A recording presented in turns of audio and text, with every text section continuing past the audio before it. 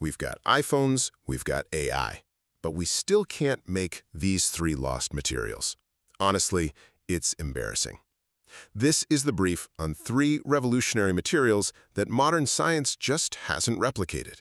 And it reveals this, this frustrating pattern across history of incredible breakthroughs being permanently lost, whether it's through greed, fear, or just pure arrogance.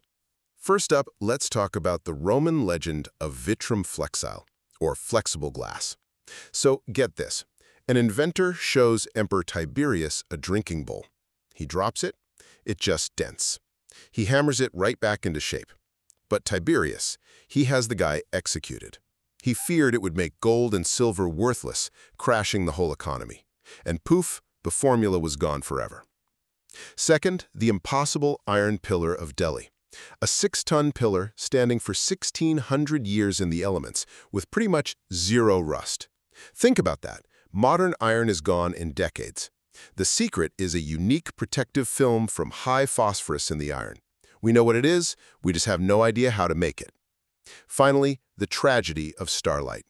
A British hairdresser invents in the 80s a paste so powerful you could coat an egg, hit it with a 1200-degree blowtorch, and it stays raw. Totally cool to the touch. NASA was desperate for the formula. But the inventor, Maurice Ward, was paranoid.